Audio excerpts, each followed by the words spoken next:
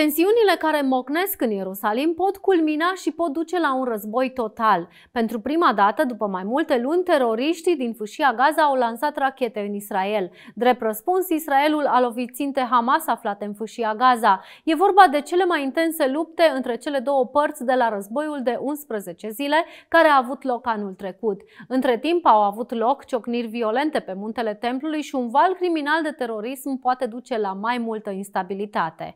Acest lucru e inacceptabil pentru noi. Aceasta este răsplata pentru instigatori, mai ales pentru Hamas, care încearcă să provoace acte violente la Ierusalim. Nu vom lăsa ca aceste acte violente să aibă loc. Statul Israel va continua să garanteze demnitatea noastră a tuturor. Grupul terorist Hamas a declarat apărătorul Ierusalimului și se folosește des de acte de violență în orașul sfânt pentru a justifica atacarea Israelului. Alpha, Omega.